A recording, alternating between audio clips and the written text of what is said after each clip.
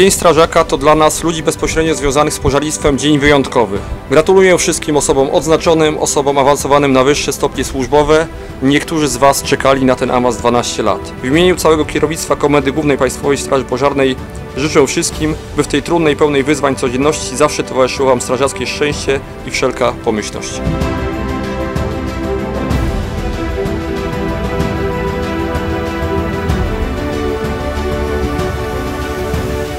Chciałem pogratulować przede wszystkim wszystkim tym, którzy dzisiaj zostali wyróżnieni i odznaczeniami państwowymi, medalami ministra spraw wewnętrznych, jak również tym, którzy uzyskali wyższe stopnie. Komenda Główna jest kluczowym elementem budowania bezpieczeństwa naszego kraju.